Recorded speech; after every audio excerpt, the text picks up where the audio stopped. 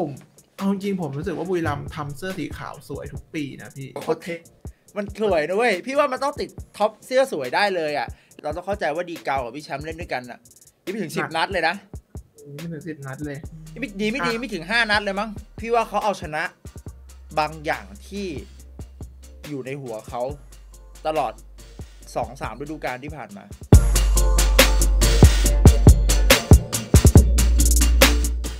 สี่สามสองไป อยู่ๆก็ที่สองครับ เฮ้ย ที่สองเพราะอะไรที่สองเพราะพจนานุกรม อยู่อยู่ทีมที่เชียร์ทั้งไทยและเทศก็อยู่ที่สองทั้งคู่นะครับแล้วเพิ่งเพิ่งสองนัดไปโม้ซะแหละเออสวัสดีอ่าคุณผู้ชมนะครับ ตอนรับเข้าสู่ Thunder Podcast นะครับ เช่นเคย คอนเทนต์ที่เรา อาจจะเจาะจงไปที่สโมสรวีรัมยู i นเต็ดหลายๆคนที่อาจจะเพิ่งติดตามกันอะไรอย่างเงี้ยก็อาจจะไม่ค่อยได้ทราบกันเพราะว่านี่เป็นคอนเทนต์คอลแลบนะครับ เราจัดไปครับผมจัดมานี่กี่ EP แล้ว นี่ EP ที่สามสิบเอ็ดนะพี่ โอ้ สุดยอดนะครับ เราจัดมาตั้งแต่ต้นปีเนาะครับตั้งแต่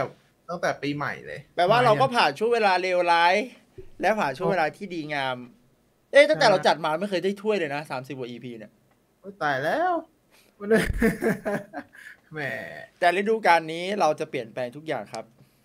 ครับผม ก็คือนะฮะเราจะได้ถ้วยเหรอ ใช่ฮะ ใช่ แต่ก่อนได้ถ้วยขออนุญาตอ่าเปลี่ยนต่างชาตินิดนึงได้ไหมฮะเจ้าที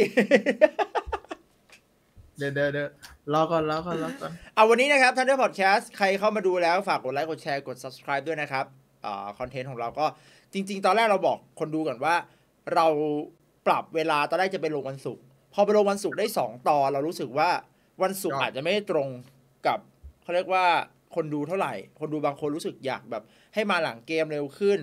มากกว่าที่จะพูดก่อนเกม บวกกับคอนเทนต์ตูดูวันไทยหลังๆ ก็เยอะขึ้นวันศุกร์มันก็เยอะมีไลฟ์ด้วยมีอะไรด้วย มันทำให้การมองเห็นของ Thunder Podcast มันอาจจะน้อยลง เราก็เลยขออนุญาตขยับมาเป็นกลางสัปดาห์แทน หลายๆคนคุยบอลไทยวันจันทร์วันอังคารไปแล้ว วันพุธก็จะเป็นวันของ Thunder Podcast กลางสัปดาห์ เก็บตกจากสุดสัปดาห์ มาพรีวิวสุดสัปดาห์อีกสัปดาห์หนึ่งก็คือกลับไปเป็นเหมือนเดิมแหละใช่ใช่เออนะฮะก็ครับผมเปลี่ยนแปลงปรับปรุงกันไปแล้วกันนะครับผมทีนี้วันนี้ก็ว่ากันถึงหลังเกมนัดที่2นะครับผมรวมถึงพูดถึงเสื้อด้วย เพราะว่าเสื้อเพิ่งเปิดตัวเสื้อ away นะครับรวมไปถึงเดี๋ยวเรามา preview เกมต่อไปที่จะพบกับเชียงใหม่ยูไนเต็ดด้วย ไปเสื้อก่อนไหม เอา เอาเสื้อก่อนก็ได้พี่มา อ่า นะครับ เสื้อออกมาก็ไล่กับแรปเปอร์แรปเปอร์โยผมว่า create ดีนะ รอบเนี้ยเอ่คืออเขาปอมรู้สึกไง ผมเอาจริงๆผมรู้สึกว่าบุรีรัมย์ทำเสื้อสีขาวสวยทุกปีนะพี่ ถ้าอืมสังเกตดูอะบุรีรัมย์ทำถ้าไม่ใช่สีครีมอะสีขาวเลยอะถ้าถ้าเป็นสีขาวบุรีรัมย์ทำสวย อืมไม่ว่าจะยังไงดูดูไปดูมาเออมันสวยว่ะคือถ้าพูดพูดถึงเรื่องเสื้อนะครับ เอาพูดถึงลายเสื้อนะอืม ลายเสื้อเป็นลายที่สวยมากนะ รอบนี้เราเห็นลายเสื้อชัดนะ ก็ไม่ใช่ก็ถ้าเทียบเทียบกับทุกทุกสีทั้งสามสีอะสีเนี้ยเห็นลายเสื้อชัด พอเห็นรูปอะคุณขึ้นภาพอินเสิร์ตที่เป็นลุงเนจากด้านหลังเนี่ยเราเห็นลายเสื้อชัด แต่ผมพูดกับปอมไว้ก่อนเข้ารายการว่า เสื้อมันสวย แต่เสียดายมันเป็นเสื้อที่ใส่ แล้วไม่ได้สวยเท่าลายเสื้ออ่าสำหรับพี่มันติดตรงเดียวคือคอปก เราเข้าใจทุกอย่างว่าเขาต้องการทำให้มันเป็นแบบใส่ได้ทุกสถานการณ์อะ มันเลยต้องเป็นคอปกนึกออกไหมแต่ลองคิด อันนี้เราลองคิดกันเล่นๆนะ สมมุติเสื้อตัวเนี้ย ลายเสื้อตัวเนี้ย เป็นคอกลม หรือคออื่นที่ไม่ใช่คอปกโอ้โหโคตรเท่มันสวยนะเว้ย พี่ว่ามันต้องติดท็อปเสื้อสวยได้เลยอะ แล้วมันดันมาในปีที่เสื้อขาวอะ ไม่ค่อยมีในสโมสรอื่น เออจริงถ้าไปดูหลาย ๆ ทีมเขาเขาไม่ค่อยใช้ข่าวนะปีเนี้ยในไทยอะใช่ ปีเนี้ยเขาไม่ค่อยใช้ขาวกัน ก็เลยมันเลยทำให้ มันให้มันทำให้เสื้อตัวเนี้ย ตัวลายเด่นมันสวยมาก เสียดายลองคิดใน MV เราลองหลับตานึกภาพนะ ครับนิวฉ่ำแบงค์เช็ค ใส่ตัวเนี้ยจะเป็นคอกลม หรือเป็นคอแฟชั่นแบบอื่น แบบคอ V หรือคอ คอแบบเชลซีก็ได้หรือคอโหมันเท่นะเว้ย เอาจริงๆนะเปิดตัวแรปเปอร์อะใส่คอปก มันมันก็แปลกๆอะเออมันเขินๆนะมันฝืนๆนิดนึงอะ่ะแต่ไอเดียดี พอไปพูดเรื่องของโปรดักชันเนี่ยชื่นชมว่าในพี่ไม่รู้นะคิดไปเองหรือเปล่า แต่พอกระแสเรื่องของที่เขาถูกวิพากษ์วิจารณ์เรื่องของมีเดีย เยอะอะเอ้ยใครนะ ไม่น่าใช่เราหรอก พอแฟนๆ วิจารณ์เรื่องของการทำมีเดีย ตั้งแต่การครับถูกวิจารณ์จนมาวันเนี้ย แต่ละชิ้นงานอะประทับใจหมดนะ จริง ชิ้นแรกที่ว้าวสุดอะออกมาเต้นที่เต้นไอ้ต่างชาติเต้น ใช่ไหมหลังใช่จากครันั้บนมีอะไรอีกอะอ่ามีอะไรนะ มีอะไรวะไม่รู้ว่าหลังจากหลังจากนั้นมันก็มีคลิปเปิดตัวนู่นนี่นั่นมาเรื่อยๆอะอ่านี่ไอ้นี่ ไอ้พวกแบบโปรดักสินค้าที่เขาแบบลงรูอะปที่ไปอินโฟที่ไปขอบคุณลูกค้าว่าแบบว่าไอ้ใช่ใช่ขอบใช่อ่า พันตาขอบคุณอะไรอย่างเงี้ยเออมันก็อันนั้นมีผมความทำให้แฟนบอลรู้สึกได้ว่า ใกล้ชิดกับนักฟุตบอลมากขึ้น ใกล้ชิดกับนักอ่าสโมสรมากขึ้น ถึงแม้บางอันมันจะดูแบบเขินๆน่ะไออย่างขแต่องมันคุณน่ารัอะกมันน่ารักคือบางอันไอของคุณอย่างเงี้ยไอเกมก็เขินเขินๆแต่แต่ดูแลวยิ้ม ใช่ อ่า แต่ดูแลวยิ้ม ดูแล้วรู้สึกแบบอุ้ยรู้สึกเข้าถึงง่ายไม่อ่าใช่แบบหายไปไหนวะไม่ใช่เป็นการขอบคุณอย่างเป็นทางการนะพี่ไม่ใช่แบบขอบคุณแล้วขึ้นแค่สปอนเซอร์ คือเขาขอบคุณโดยเอานักบอลมาขอบคุณทำให้รู้สึกเหมือนว่าเขา เขาเรียกอะไรมีความจริงใจ แฟนบอลก็รู้สึกง่ายรู้สึกเข้าถึงง่ายเพราะว่ายังไงมาดูมาดูนักเตะอยู่แล้วอ่าการการที่เขาดูเนี่ยเพราะนักเตะไม่ใช่นักแสดงอะอ่าเขามาเอานักเตะมาเป็นนักแสดงมันก็น่าน่ารักไปอีกแบบอะทีเนี้ยมาพูดถึงไอคลิปเสื้อ away อะครับคนที่อาจจะไม่ได้แบบมองพี่อะเป็นพวกโรคจิตชอบมองพวกโปรดักชันอืมไอ้เหี้ยไอ้คลิปเนี้ย production ดีมากนะเว้ย สวยนะแสงสวยสีสวยดีหมดเลย คือคิดมาคือ คิดมาเรื่องของมุม เรื่องของภาพ production แสงเสียง หรืออะไรก็ตามแบบ ดีดีดียอมรับว่าดี แต่แต่ถ้าไปพูดเรื่องของการแสดงเนี่ย แบงค์อันเชนั้คนมันมีความชอบฮิปฮอปอยู่แล้ว ใช่ มันเลยใช่อาจจะดูบางบางจุดจะดูธรรมชาติเป็นฮิปฮอปจริง ๆ บ้าง เนี่ยหรอกปะดูแบบนี่ภาษากายมันคือคนที่มันติดตามของความเป็นฮิปฮอปอะมันก็อินมันอะเออมันจะมีภาษากายที่เหมือนกูดูมาทุกวัน คนที่แบครับบจับจังหวะของการโยกหรืออะไรเงี้ยเออเข้าใจได้ แต่นิวชัมเนี่ยว้าวบ้างแข็งเป๊กว้าวไอ้แข็งไม่เท่าไหร่ว้าวถึงขนาดที่ว่าเพื่อนร่วมทีมสมุทรปราการเนี่ย ถึงก็ออกมาพูดว่า กูไม่น่าเชื่อเลยนะครับ ว่าจะมีคนสามารถทำให้นิวชัมต้องทำอะไรแบบนี้ได้อะ หมดกันกับตันเขี้ยวสมุทรกูอันน่ะเขาบอกมามาเนี่ยได้ทำทุกอย่างอืมตั้งแต่นักบอลยันพรีเซนเตอร์ นั่นแหละนะครับผมติดเนี่ยพี่ติดเรื่องเดียวเลยเสื้อปีเนี้ยอยากได้คอกลมมากเลยอะลายสวยมากลายสวยนะ แล้วแล้วเออเนื้อผ้าเนื้อผ้าเหมือนว่าเนื้อผ้าตัวเนี้ย มันจะไม่เหมือนกับตัวเย่าตัวเยือนด้วยนะผมดูเอาเหรออาจอาจจะไม่เหมือนผมเดาเอานะ เพราะว่าดูจากเสื้อที่ลุงเนใส่อะเนื้อผ้ามันจะ ดูแปลกๆไปหน่อย อืม เราก็เห็นรูปลุงเนนั่งดู Attack on Titan เออ มีอะไรอยากจะพูดถึงซีรีส์เรื่องนี้ไหมฮะดูไปเรื่อยๆนะครับ ลุงเนอาจจะได้อ่าได้ไอเดียบางอย่างจากอ่าแอนิเมะเรื่องนี้ครับแล้วมันอาจจะมีบางช็อตที่มันอาจจะจุกๆบ้างนะสักพักลุงเนอยากกัดนิ้วแปลงร่างขึ้นมา ไม่แน่เขาอาจจะอินจนถึงขนาด เฮ้ยเบิงไปเปิดเพลงไททันในสนามก่อนเกมเริ่มสิเอ้ก่อนก่อนเริ่มเกม เออเออนะฮะเอาก็รอซื้อเสื้อกันแล้วกันนะครับผม แล้วก็นี้ใครมีแนะนำเรื่องของการเปลี่ยนคอปกเป็นคออื่นไหม ก็ลองส่งมาเผื่อผมจะเสื้อตัวเนี้ยไอเสื้อที่ตัวที่ผมใส่อยู่เนี่ย มันน่าเอาไปเป็นเสื้อแข่งนะใช่จริง ๆ อะ จริง ๆ มันสวยไม่ต่างกันนะในมุมพี่อะมันอ่ามันแค่คอปกกับคอกลมเว้ยเออ แค่นั้นเองอะเดี๋ยวรอดูฤดูกาลต่อๆไปเผื่อ ขอฤดูกาลหน้า ไม่ใช่คอปก สักฤดูกาลหนึ่งอยากใส่แบบ everyday look อะอ่า ไม่ต้องเป็นทางการเอตลออดไปไอเราใส่กับขาสั้น ใส่กับแฟชั่นอะ มันใส่ยากไงอืมนะครับผม เอาไปหลังเกมกันหน่อยไปโอ้โห เก็บใจชนะนัดแรกกว่าจะเก็บได้ เกือบตาย คือจับเหมือนกันนะคือจับเอาจริงๆก็เจอเทโลก็ไม่ไม่ไม่ได้ผิดคาดไป เพราะว่าเจอเทโลก็อย่างที่ผมบอกมันเป็นทีมที่บุรีรัมย์เจอแล้วเหนื่อยครับตลอด เหมือนจะไม่มีอะไรแต่ก็มีอะอืมก็ก็ก็โดนยิงไปก่อนอ่าสามหนึ่งไอ้ลูก ไอ้ลูกสะไอ้ลูกหนึ่งศูนย์ที่โดนยิงนี่คือแบบเขาเรียกว่าอะไรนะเก๋าผิดเก่าผิดเก่าเก่าผิดจังหวะแล้วอ่าลูกที่โดนยิงอ่า พี่ว่าปัญหามันคือเรื่องของการสื่อสารแหละอืมมันคือออกมาเรื่องของการสื่อสารและความที่เราต้องเข้าใจว่าดีเกากับพี่แชมป์เล่นด้วยกันอะยังไม่ถึงหสินับกนัดเลยนะไม่ถึงสิบนัดเลยยังไม่ดีไม่ดีอะไม่ถึงห้านัดเลยมั้งเกมอย่างเป็นทางการอะครับผมเออนะฮะ แต่ก็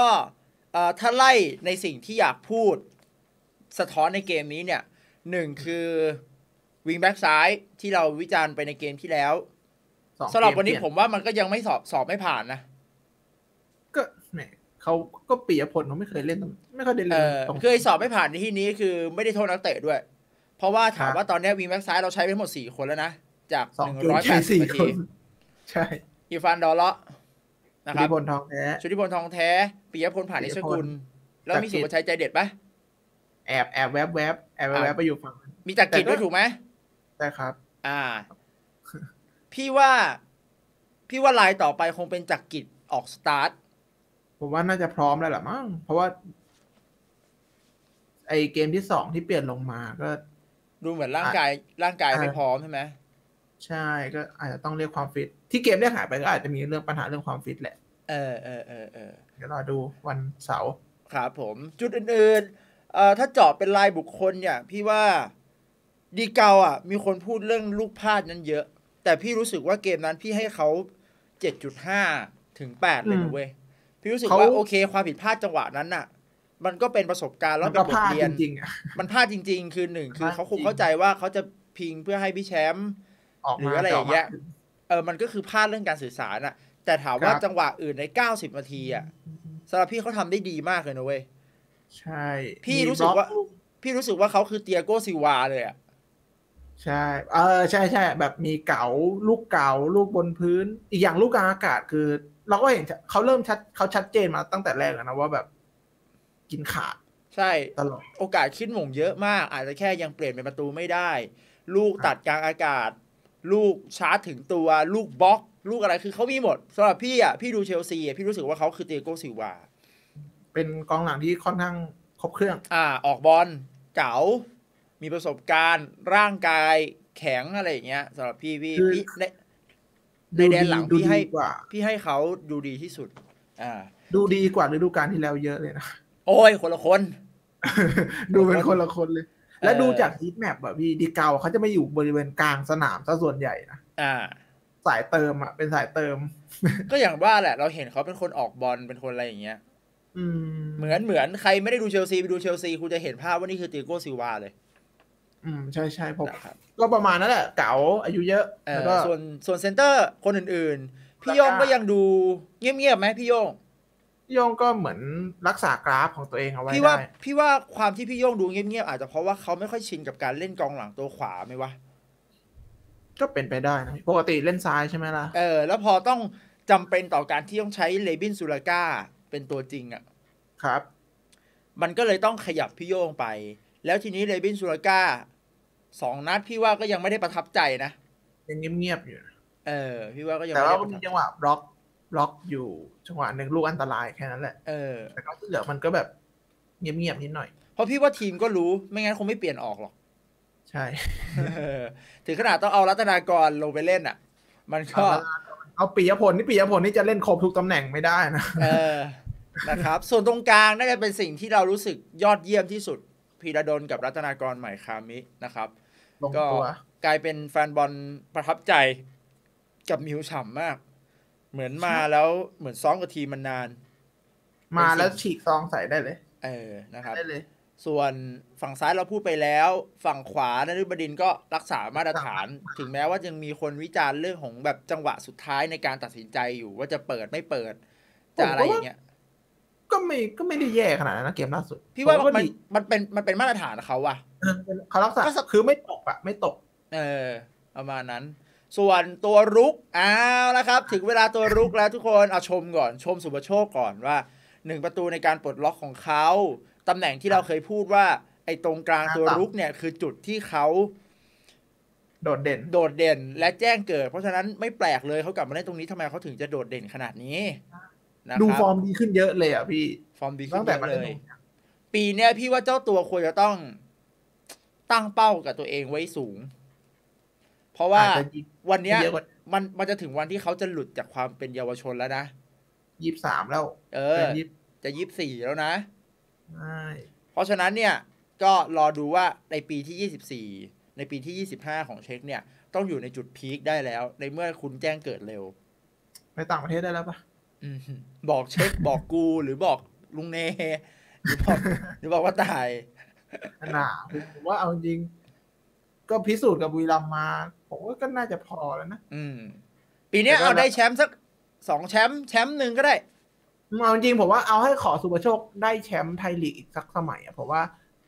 ควรไปต่างประเทศได้แล้วอืมเพราะว่าหรือถ้าไม่ก็ได้เป็นแชมป์หรือไม่ก็เป็นดาวซัลโวคนไทยอะไรอย่างเงี้ยอืม ถ้าได้แชมป์สมัยเนี้ยผมว่ามันจะเป็นแชมป์ที่เขาได้มาด้วยตัวเอง ไม่ต้องพึ่งดีโอโก้อืมมันมันจะดูแบบเออเขาพิสูจน์ตัวเองได้แล้วว่า เขาแบกทีมพาไปให้ถึงแชมป์ได้อย่างเงี้ยครับ ครับอะไมคอนโลซาคุณปอมครับต่อเชิญ ไมคอนสอง assist แต่ก็เงียบๆนะ ถ้าโดยภาพรวมอะเอ่อแต่ไมคอนเด่นกว่าโรซ่านะเกมล่าสุดสำหรับปอมให้คะแนนเต็มสิบไมคอนโลซาหน่อย ไมคอนเหรอไมคอนเกมนี้ผมให้หกจุดห้าไหมเนี่ยถ้าจันที่สองแอสซิสทำไมหกจุดห้าอะคือเขาไม่ค่อยมีส่วนร่วมกับเกมมากเท่าไหร่พี่ยกเว้นอ่าสอง assist นั่นนะคืออ่า assist แล้วมันเป็นประตูเลยอะแต่ซึ่งว่าแอสซิสอันนี้ไม่ได้ว่านะครับแอสซิสที่ไมคอนทำได้จากโอกาสทั้งหมดอะ มันน้อยนะเว้ยมันยังมีจังหวะแบบจ่ายแป๊กเปิดแป๊กอะไรพวกนี้อยู่เยอะ first touch บอลสองที่มันผิดพลาดอะ พี่รู้สึกว่ามัน มันพลาดเยอะเกินไปกว่านักเตะต่างชาติใน position ตรงเนี้ย ใช่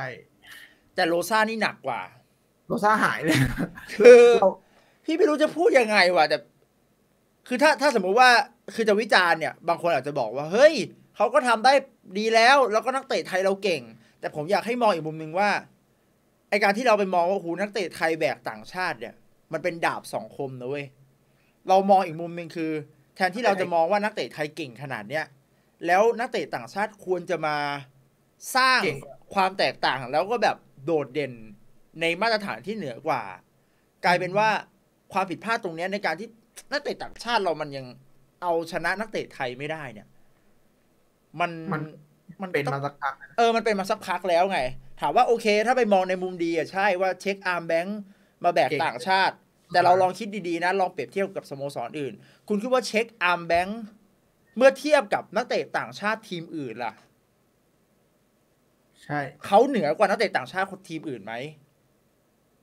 ก็ก็พูดไม่ได้ไม่เต็มอ่าปากมันก็พูดไม่ได้อ้าวเราสามารถพูดได้ไหมว่าเช็คอาร์มแบงค์อ่าเก่งกว่าเดนิสมูริโลไหมไม่รู้อ่า เราก็เราแบบมันพูดไม่ได้อะแต่เพราะว่าพูดไม่ได้พอพอมาในทีมเราอะ เราสามารถพูดได้ทันทีว่าเช็คอาร์มแบงค์แม่งเก่งกว่าโรซ่าอีก ใช้โอกาสไม่เปลืองแบบโรซ่าด้วยอืมฮึอ่า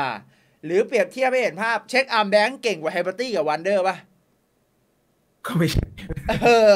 นี่แหละทำให้ทุกคนเห็นว่าสิ่งที่เราควรจะมองก็คือ ต่างชาติตัวรุกของเราสอบไม่ผ่านในฐานะผู้เล่นบุรีรัมย์ยูไนเต็ดอืมเออ ถามว่าสอบไม่ผ่านในที่นี้คืออะไรสำหรับพี่อะเราอยู่กับนักเตะต่างชาติบุรีรัมย์ในยุคที่ประสบความสำเร็จ นักเตะต่างชาติบุรีรัมย์ต้องสร้างความแตกต่าง แต่แต่อันนี้เหมือนแต่สองคนนี้คือไม่ใช่สำหรับพี่ไมคอนอะสอง assist อะกูว่านักเตะไทยเราก็ทำได้ อ่องทูก็ทำได้ ถ้าได้ออกสตาร์ตตัวจริงอืมครับผม เออ หรือแม้กระทั่งโลซ่าถามว่าถ้าโลซ่าจะดีจริง ๆ ในในทรงแบบนี้นะ อย่างน้อยที่สุดโลซ่าต้องเล่นให้ได้แบบบิลโรซิมาพักบอลต้องพักได้ทุกลูก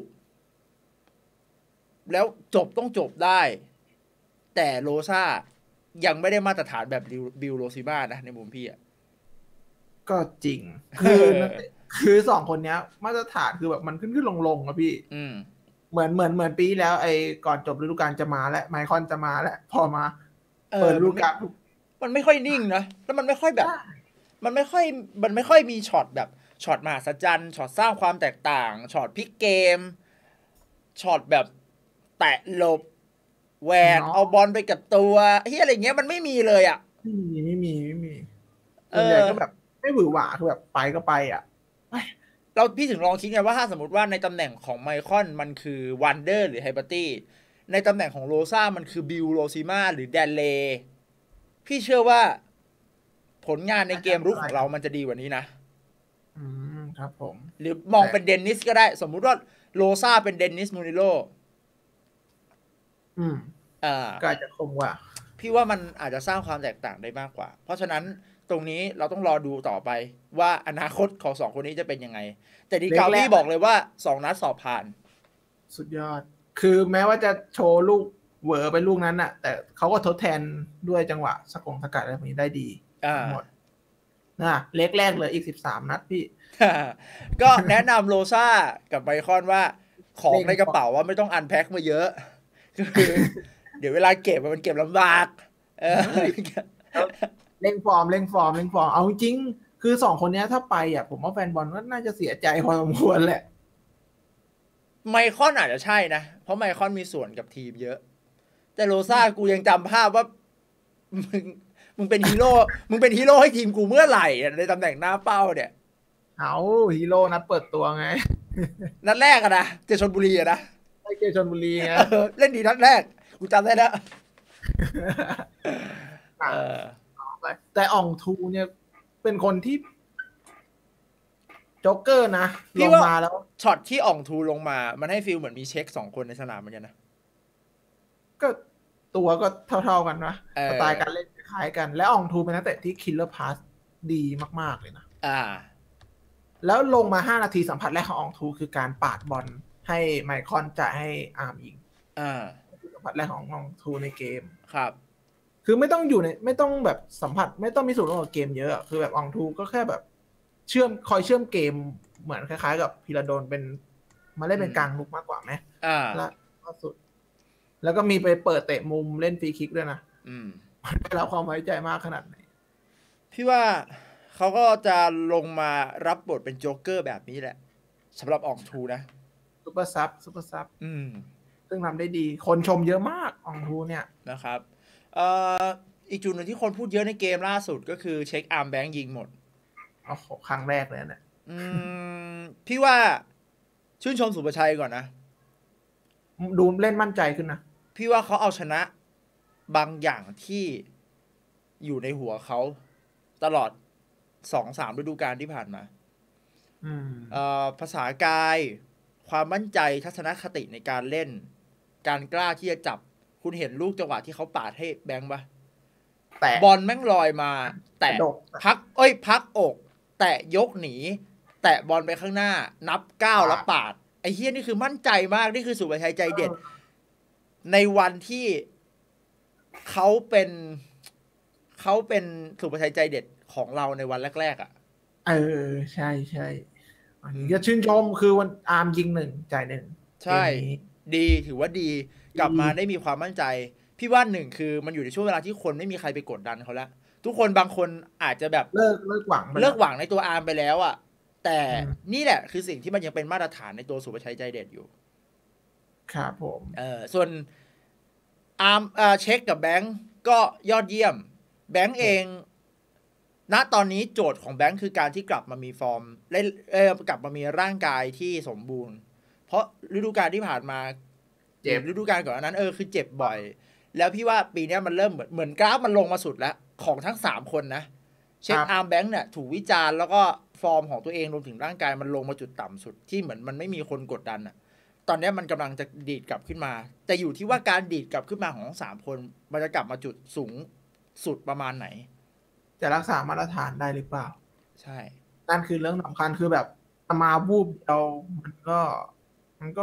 มันก็ได้แค่นั้นอะอ่ามันไม่ได้รักษามาตรฐานคืออยาก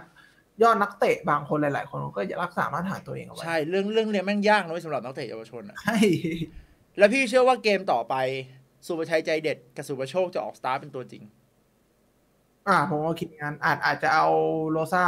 drop ก่อนไหมเออพี่ว่าคงต้อง drop โรซ่าในเกมต่อไปโหแต่ทีนี้ลูกยิงแบงค์นี่ถ้าไม่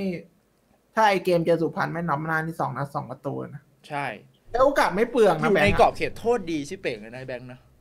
แล้วลูกนั้นนิ่งนะแตะหลบประตูก่อนโดยไม่ยิงเลย เป็นกูกูแตะหลบกูใจกูไปไหนแล้วกูเตะทิ้งแล้วครับผมครับก็จบไปอะเราก็เก็บ เก็บแต้สามคะแนน เยอะกว่าปีที่แล้วอีกอะอะไรเยอะกว่าปีที่แล้ว เก็บแต้มเยอะกว่าสองนัดแรกไงโอ้ยมึงเอาสองนัดมาวัดแล้วเออแต่ก็เอ่อเคลียร์จุดโทษเอ้ยเคลียร์จุดที่เป็นใบแดงนะสำหรับผมผมว่าเคลียร์ชัด ดูภาพช้าก็ชัดว่าเหมาะสมกับการเป็นใบเหลืองในจังหวะนั้นเหลืตาอยงสอรีงเพย์แล้วรีเพย์อีกเออไอเจ้าอาโบพลาดครัเอบง คุณรู้ทั้งรู้ว่ามีใบเหลืองติดตัวคุณไปย่ำอย่างนั้นนะเรียบร้อย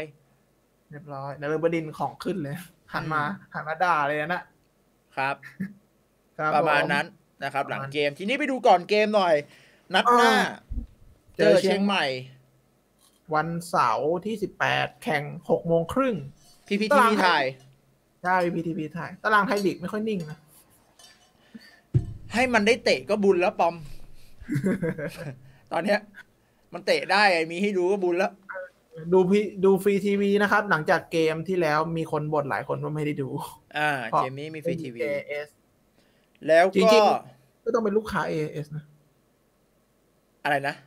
ต้องเป็นลูกค้า AS นะ ถึงจะดูแบบทุกคู่ได้ เออลงทะเบียนด้วยเบอร์ AS อะถึงจะได้ดูฟรี ผมมาไปยืมเบอร์ญาติมาเออลองหาวิธีนี้ดูนะครับครับ ทีนี้เออเกมนี้เราเล่นในบ้านอีกแล้วเหรอะ ใช่บีเล่นในบ้านก่อน นัดต่อไปจะไปเยือนแบงคอก อ่า โอเคอ่าในอ่าบ้านการเจอเชียงใหม่ ผมพูดในมุมที่ผมได้ดูเชียงใหม่หน่อยแล้วกันเผื่อใครไม่ได้ดูอ่าความสำคัญของเกมนี้คือหนึ่งได้เจอพี่พี่มิงนะ เจอกรกฎวิริยะอุดมศิริ เจอแล้วก็อดีตนักเตะเยอะนะศิริศักดิ์ไฟดงเนี่ยกองหลังอ่าเป็นเด็กป้านบุรีรัมย์ครับ ครับผม เอาจริง ๆ ถือว่าเป็นเกมที่ผมยังแอบรู้สึกว่าแต่กังวล สามเกมแรกของเราอะ เป็นสามเกมที่ไม่ยาก คือการเจอสุพรรณการเจอเทโรและการเจอเชียงใหม่ นี่เป็นตารางที่ค่อนข้างเข้าทางเรานะ เพราะฉะนั้นเป้าหมายคือการเก็บสามคะแนน แบบจริง ๆ ไม่ใช่แบบอุ้ยเสมอโอเค จริง ๆ เสมอก็ไม่โอเคนัดเนี้ยการเล่นในบ้านเจอเชียงใหม่ แล้วฟอร์มของเชียงใหม่สองนัดเนี่ยมีคะแนนเดียว จริง ๆ จะแพ้ทั้งสองนัดด้วยเกมล่าสุดมาตีเสมอได้นาที 96เพ ราะสุพรรณไปเหลือ10คนอืมเกมเนี้ย ผมว่าอาจจะเป็นเกมที่ดู อาจจะดูเป็นเกมที่เหนือกว่า2เกมแรกด้วยซ้ำอันนี้ไม่ได้เจิมนะ เกมแรกเข้าใจว่าทำไมถึงเสมอ เกมที่สองเข้าใจได้ว่าทำไมชนะด้วยความอึดอัด แต่เกมรับของเชียงใหม่ แตกต่างกับสองทีมแรก เกมรับของเชียงใหม่เล่นหลังสี่ไม่ได้เล่นหลังสามเหมือนเทโลกับสุพรรณเกมนี้เล่นหลังสี่วิธีการเล่นของเชียงใหม่ ทำให้เห็นแล้วว่าเกมรับไม่ได้หนาแน่นเท่าสองทีมแรก ความเก๋าในไทยลีกไม่ได้เยอะเท่าสองทีมแรกที่เราเจออืมอ่าส่วนทีมเราพี่ว่ามาตรฐานมันมันชัดตั้งแต่สองเกมแรกแล้ววิธีการเข้าทำประมาณไหน ตัวแปรมันคือว่าประตูแรกมาช้าเร็วแค่ไหนต่างหากอืมผมว่าถ้าประตูแรกมาเร็วอะก็อาจจะอาจจะอาจจะไหลได้นะอ่าแต่ว่าใช่แต่ผมแต่ผมแอบกังวลนิดนึงกลัว กลัวเชียงใหม่อะคือบุรีรัมย์กับเชียงใหม่อะ ไม่ว่าเชียงใหม่เอฟซีหรือยูไนเต็ดอะเวลาเจออะมันยากทุกทีเลยนะอืมเออ คือแบบ ผมผมแอบแอบกังวลนิดหน่อยว่า มันอาจจะไม่ใช่เกมที่แบบ flow ขนาดนั้นน่ะอืมเราอาจจะเจอเกมรับที่เจอที่ผ่านผ่านๆมาสองเกมอย่างเงี้ยอืมเป็นไปได้แล้วก็ ยังหลอนอยู่เลยนะไม่รับไม่รับเลยที่เชียงใหม่คนละเชียงใหม่อะดิ เฮ้ยแต่เชียงใหม่นี่เขาเขาเก่งจริงผมผมตามฟอใช่ร์มมาคือเชียงใหม่เนี้ยสุดท้ายแล้วก็มีมีจุดเด่นเขามีจุดเด่นในเรื่องของลูกสวนกลับเกมรุกของเขายังมีเอ่อเดวินสราวุธมาสุกอะชื่อเก่าเขาอะใช่ ชื่อใหม่ชื่ออะไรนะจำไม่ได้แล้วจำไม่ได้ แล้วก็มีเมวินเดลูมียานิกโบลี่แล้วก็มีสหรัฐสหรัฐแกยโรดอ่าใช่ คือตัวรุเนี่กยเขาว่าค่อนข้างน่ากลัวนะ เพราะฉะนั้นใช่พี่ว่าเปอร์เซ็นต์ของการเสียประตูในเกมเนี้ยเราก็คงมี อาจจะเสียเอ่อแต่พี่เชื่อว่าเกมรับเขาไม่ได้แน่นเท่ากับสองทีมแรก ด้วยระบบการเล่นอืมแล้วก็เอ่อโค้ชอัน เราอะเราเป็นหนึ่งทีมที่เวลาเจอโค้ชอันเองอะ ครับ ก็จำไม่ได้เหรอ ปีที่ปราการน่ะเหรอ เออ ปีที่รับถ้วยในบ้านไงที่พี่ไปอะ อ่าอ่าอ่าคือด้วยพัทยา อ่าพัทยาตั้งแต่สมัยพัทยาเกมนั้นเราก็ชนะถูกปะล่ะใช่ สามศูนย์พี่ว่าด้วยสไตล์ของโค้ชอันเองอะเขาไม่ได้เล่นในรูปแบบของเกมรับแบบโอ้โหรับชิบหายไวว่าเขาพยายามบิวอัพเกมอะไรอย่างเงี้ยเออพี่ว่าเกมนี้จะเป็นเกมสนุก อาจจะได้เห็นฟอร์มที่ดีก็ดูเกมที่บุรีรัมย์ไปเสมอเชียงใหม่เอฟซีที่โค้ชอันคุมอะเออเชียงใหม่เขาก็ต่อบอลเขาก็ pressing เยอะใช่ใช่แล้วอาจจะเกมมันจะไม่ใช่ลักษณะเกมแบบถอยมารับต่ำมันจะเป็นเกมที่เขา press สูงบอลเท้าต่อเท้าอะไรเงี้ยก็น่ากลัวอืม แอบแอบแอบแอบหวั่นนะเพราะว่าผมรู้สึก เพราะผมดูเชียงใหม่ยูไนเต็ดมาตั้งแต่ T สี่อะอืมเขาไต่ขึ้นมา T สาม T สองแล้วก็ขึ้นมาไทยลีกเนี่ยเขาคือทีมอเขาเขาคือเชฟฟิลด์ยูไนเต็ดแห่งไทยลีกเอออาจจะมาเป็นคล้ายๆ ลักษณะเหมือนอาร์มี่ยูไนเต็ดอ่าเมื่อก่อนอะไรประมาณนั้นอะ อ่านะครับ ก็ต้องระวังสิบเอ็ดตัวจริงพี่เต้มีคิดว่ามีใครเปลี่ยนไหมพี่ว่าซ้ายอาจออกสตาร์ทด้วยจักรกิจลาบตระกูลแล้ว หลังอือฮึพี่ว่า พันษาจะอาจจะกลับไปยืนหลังตัวซ้าย แล้วก็หลังตัวขวาอันนี้ ไม่รู้จะพูดยังไงจริงๆว่ะ อภิวัตไหมพูดยากว่ะ เดาไม่ถูกเนาะเออ พี่ว่ายอมพี่อะพี่ว่าอาจจะออกไปออกทางชิติพัฒน์ด้วยซ้ำอืมอ่าคือพี่ว่าทีมอะไม่แฮปปี้กับซูราก้านะณตอนเนี้ยทำไมวะทั้งๆที่ตอนตอนก่อนสมฤดูกาลเริ่มเขาก็ดูบอกว่าฟอร์มดี เจอเกมจริงไปไม่เป็นเหรอ ไม่รู้เหมือนกันกลางเหมือนเดิม ขวาเหมือนเดิม ซ้ายจักรกิจตัวรุกเป็นสุประชัย สุประโชค แล้วก็ไมคอน อ่า อาจจะประมาณนี้อุยถ้าออกถ้ามีตามนี้นี่คือสโมสรน่าจะต้องเอากูไปไปไปอยู่ด้วยแล้วนะ ไม่ผิดตามนี้จบเลย อ่าเนี่ยพี่บอกอย่างนี้นะ ศิวรักษ์ ชิติพัฒน์เอ่อ ดีเกาพันษา ซ้ายจักรกริดพีระดล รัตนากรขวานฤบดินทร์กลางลุกสุประโชค หน้าคู่เป็นสุประชัยไมคอน อืม อ่าผมไม่ ผมก็ว่าไม่น่าเกินนี้หรอกเพราะว่าเราเริ่มเห็นอะไรชัดเจนขึ้นแหละ ครับ ครับ ผมอืมพีระดนนี่มาปุ๊บยืนตัวจริงเลยสองใช่สามนัดเลยเนี่ย อืมอืมก็นะครับครับ เราก็ไม่ต้องไปครับฮิปฮอปในสนามมาลูก นอกสนามพอ ครับผนะมฮะอะโอเคก็ประมาณทันเดอร์บอดแคสทุกอาทิตย์ครับ เราก็จะมาคุยกันแบบนี้จะไม่เปลี่ยนวันแล้วขอสัญญาจะไม่นะครับ ขอเฮ้เวยแต่ลาถ้าวันไหนมีแข่งขังสันดาล่ะเออว่ะ เอานะ เอาเป็นว่าเอางี้นะ กดกระดิ่งไว้ คือกูออนวันไหนมึงดูวันนั้น เอางี้ดีกว่า โอเคโอเคโอเค จะได้ไม่เป็นปัญหา จะได้ไม่เป็นปัญหา วันไหนมีแข่งวันไหนมีคอนเทนต์อื่นเดี๋ยวเราจะได้ขยับก็ติดกดกดกระดิ่งไว้ กดติดตามกดกระดิ่งไว้ ครับผมนะครับนี่แล้วเดี๋ยวผมซื้อไมค์มาใหม่แล้วเผื่อมีคอนเทนต์ใหม่งอกขึ้นมาเอเดี๋ยวอค่อยติดว่าตามที่เพจอะไรครับเวลา XII ครับ อย่าไปผิดเพจนะครับอืมนะครับผมเอาไปเจอกันสัปดาห์หน้าครับสำหรับวันนี้สวัสดีครับ สวัสดีครับ